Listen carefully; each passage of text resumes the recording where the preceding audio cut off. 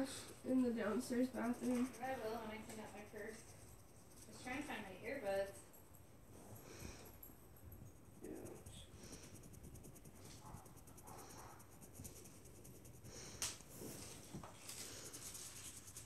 I literally cannot hear. I think I'm going deaf.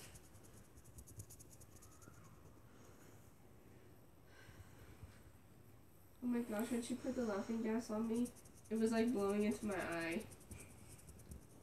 All I know is by the time I went to leave, your eyes were rolling back in your head. Do you remember me saying goodbye? The last thing I remember saying was on how. I remember telling him what breed pest he was, and then I think I told him that I wanted a German Shepherd, and then I was out. Okay, I'll be